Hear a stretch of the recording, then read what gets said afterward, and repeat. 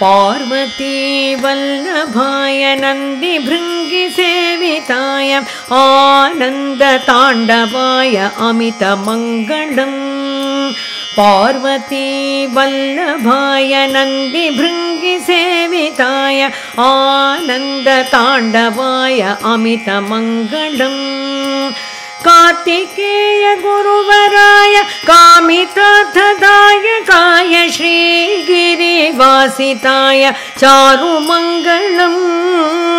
Kartikeya गुरुवराय कामितार्थदायकाय श्रीगिरिवासिताय चारुमङ्गलम्। फालचन्द्रशेखराय भूरिभूतिचर्चिताय पन्नगेशहाराय परममङ्गलम् फालचन्द्रशेखराय भूरिभूतिचर्चिताय पन्नगेशहाराय परममङ्गलम्। रुद्ररूपधराय रुद्राक्षमालिकाय स्फटिकसदृशदेहाय सुभगमङ्गलम् रुद्ररूपधराय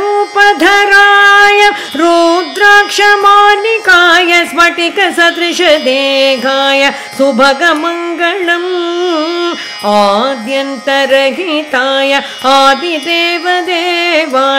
अभयवरदायकाय अतुलमङ्गलम् आद्यन्तरहिताय आदिदेवदेवाय अभयवरदायकाय अतुलमङ्गलम्। ब्रह्मेन्द्र अर्चिताय विष्णुहृदयवासाय योगेश्वरेश्वराय युक्तमङ्गलम्। ब्रह्मेन्द्र अर्चिताय विष्णुहृदयवासाय योगेश्वरेश्वराय युक्तमङ्गलम्।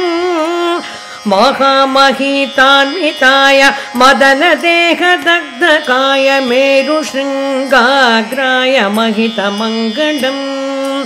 महामहिततान्विताय मदनदेहदग्धाय मेरुशृङ्गाग्राय महितमङ्गलम् भवबन्धमोचकाय भव्यमन्त्ररूपाय भक्तजनमोदकाय भूरिमङ्गलम्। भवबन्धमोचकाय भव्यमन्त्ररूपाय भक्तजनमोदकाय भूरिमङ्गलम्। भैरवानन्दहृदय वेदिनटवतं Sai आनन्दभैरवाय अखिलमङ्गलम् भैरवानन्दहृदय वेदिनटवतं Sai आनन्दभैरवाय अखिलमङ्गलम् Parvati Vallabhbhai नन्दिभृङ्गिसेविताय आनन्दताण्डवाय अमितमङ्गलम् आनन्दताण्डवाय अमितमङ्गलम् आनन्दताण्डवाय अमितमङ्गलम् आनन्दताण्डवाय अमितमङ्गलम्